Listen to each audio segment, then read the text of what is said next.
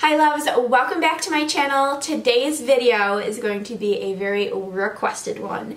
It's a get ready with me updated version. Grab your makeup stash, grab a little snack, grab some water, because it's good for you. And let's just get into this. I'll do makeup if I'm like going out to dinner, have a special event to go to, if I'm taking pictures. I wouldn't say this is my everyday makeup because I don't do this every day. This is like a special occasion, getting beat, getting cute, feeling saucy type of makeup. So we're going to start off by priming. Um, I have a feeling my hair is going to go up in a pony by the end of this video. Of course, we're starting off with the Smashbox Primer Water. This is my favorite water in a primer This is my holy grail. I've been using this for probably over two years now. I can't do my makeup without it. It's like me and her, we're best friends. So I always start off by spraying my face with this first before I go in with any like cream or like that type of primer just because this really sinks into your skin. It makes it feel a little bit more hydrated. It kind of just like preps myself for makeup and my skin. Um, as you can see, I do have like a new background. I went with more of like the professional. I want to get like a shelf to put like right here and then like have little like knickknacks and then I want to get like a really nice plant for like this side. So you know, keeping it casual, keeping it cute, but we're keeping it saucy at the same time.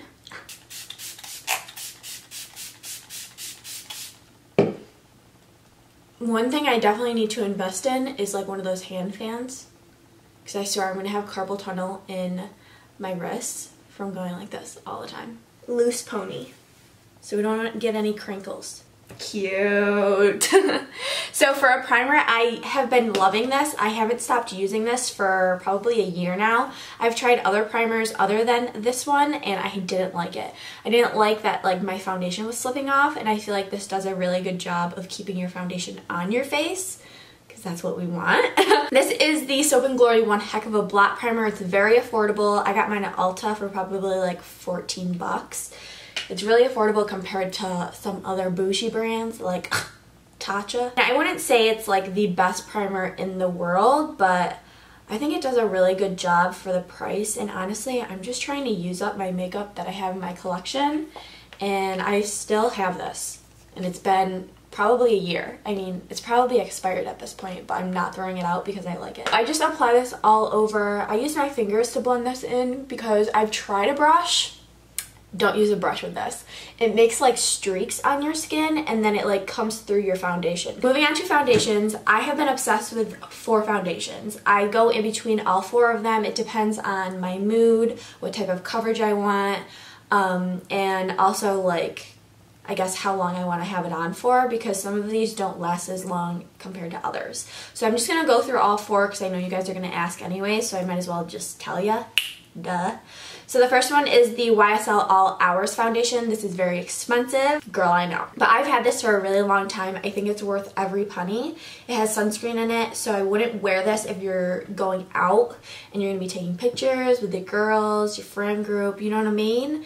Because you're going to have that flash photography and it's just not going to look cute on your skin. So do not wear this if you're going out or if you're going out to dinner and you want to take a picture after but it is 24 hour wear. It's a flawless matte, full coverage, and oil free. So this won't clog your pores because it doesn't have oil in it. And that's a really good thing. It's very full coverage, so if you have like cystic acne to cover up, this is your girl. And then the next is the Jouer Essential High Coverage Creme Foundation she's bougie. Um, I've had this for a very long time as well, but this is supposed to help with acne. So this is as well very high coverage, it's matte and it's oil free, and it has hyaluronic acid in it. I believe that is something that helps out with acne, so this is not going to cause acne. Um, this covers a lot as well. Covers my pimples, covers my little freckles that I want to cover up. This will cover everything. You, like you want to cover your eyebrows? Girl, cover your eyebrows with this. It's a little more affordable than the YSL. And then moving on to drugstore. Ooh, this one is looking ugly. This is the Maybelline Superstay Full Coverage Foundation up to 24 hour wear. This is high coverage, but it's not as high as those other two.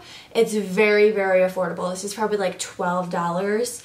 Um, this has been a holy grail for me for years. Ever since it came out, I have had this in like four different shades. I've gone through two of these. I keep buying it. I still love it. I just think this is a great foundation for like every day.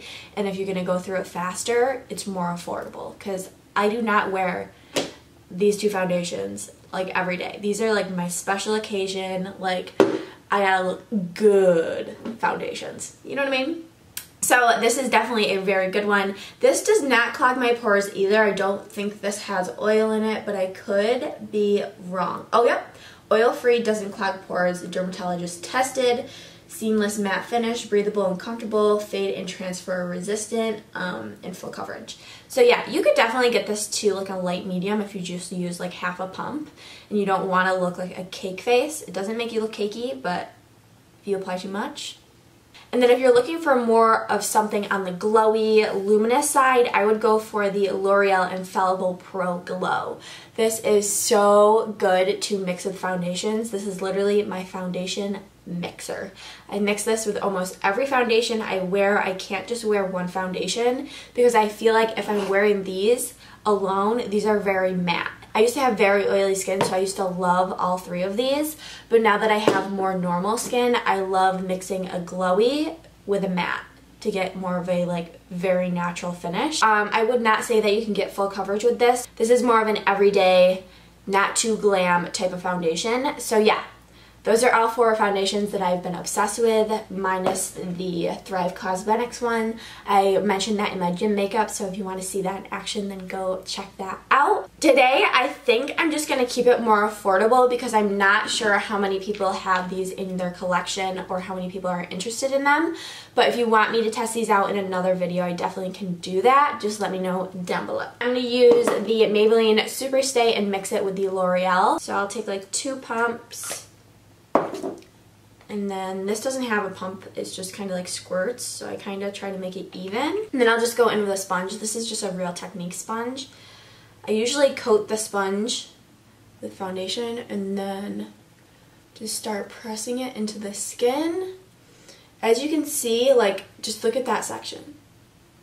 It just evens out the skin tone, it covers, but it's so lightweight. So then I'll just go over my whole face without any extra product. Just make sure that it's all worked into the skin and there's no excess just sitting there. Moving on to concealer, I still love and adore the Tarte Shape Tape. This is still number one in my heart. She just can't leave me, you know what I mean? Like, she's just too good. So I pretty much just highlight the center of my face. I'll bring this out too, like as I'm blending out, just so it kind of lifts it. I notice if I don't do that, my face doesn't look as like structured. So I'm definitely highlighted in the center. I love the way this looks. It's looking very good, very flawless.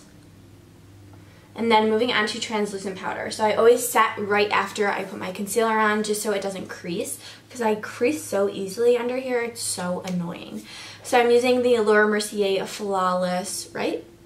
No. Laura Mercier Translucent Loose Setting Powder.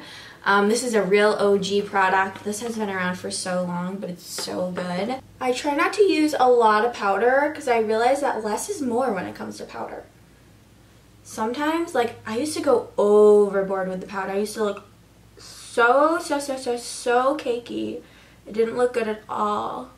And I couldn't figure out why me being me. Okay, so my eyes are set and then I'll take a little bit, set my chin and my smile line. Next, I'll go in with like the lightest amount on my cap.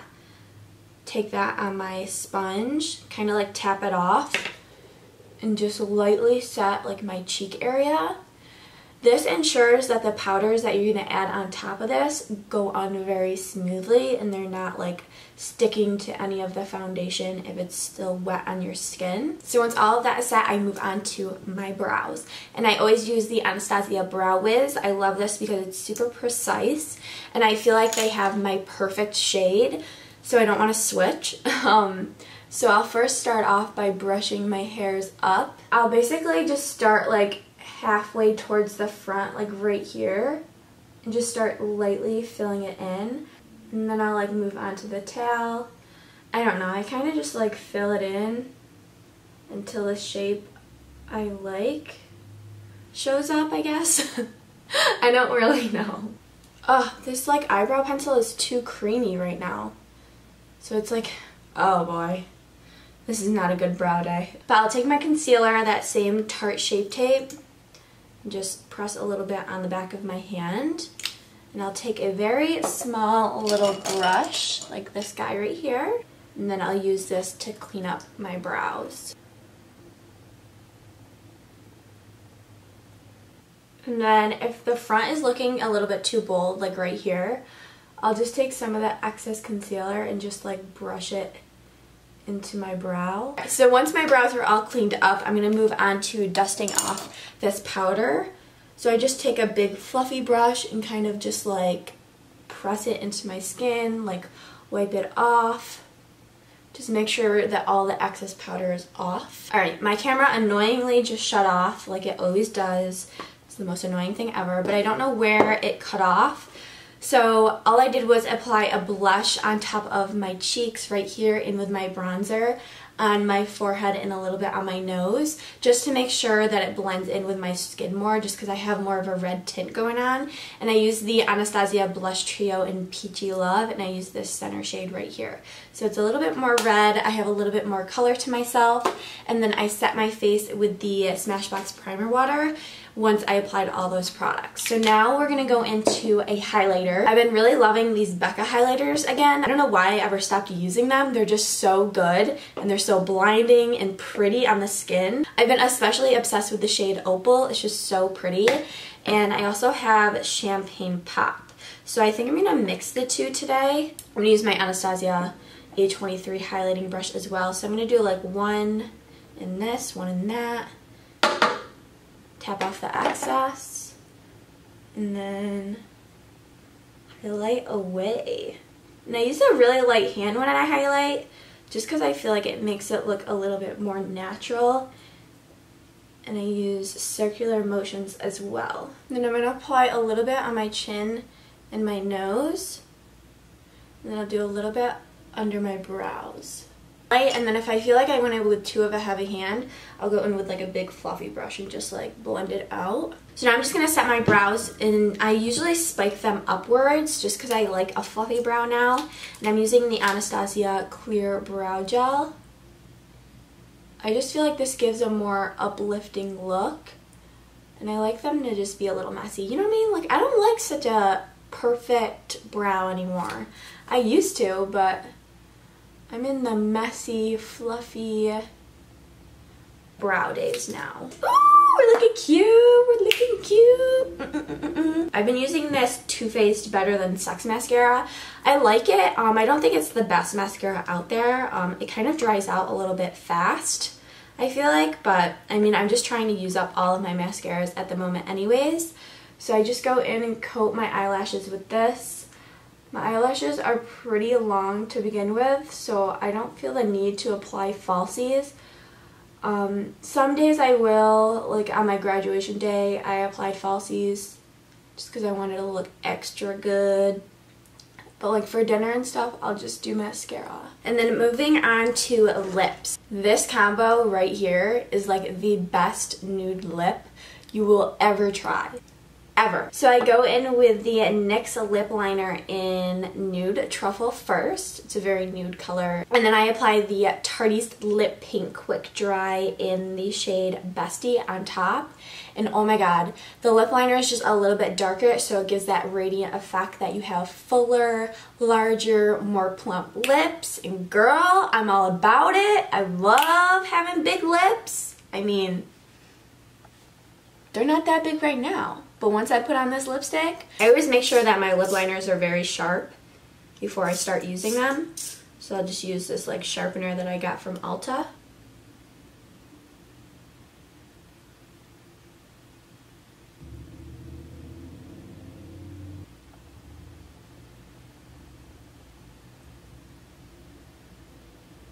Like, it just looks so good. I love using a lip liner, so definitely try it out. Last but not least, of course we're gonna set this face. I just think setting sprays make your makeup look so much better. It brings it from like a 9 to like a 20. I always go in with the Smashbox Primer Water just because this gets rid of all that powderiness and it adds some hydration. And then on top of that, I'm using the Morphe Continuous Setting Spray. This thing is so dope. It's like a continuous hairspray container. So don't like you don't have to pump. You just like spray it. It's very hydrating. I think this gives my face a nice glow to it, but it's not like overly dewy. It also makes your makeup last just a little bit longer. I mean, it's not as good as the all-nighter spray. Don't get me wrong. That thing is legit like glue for your face.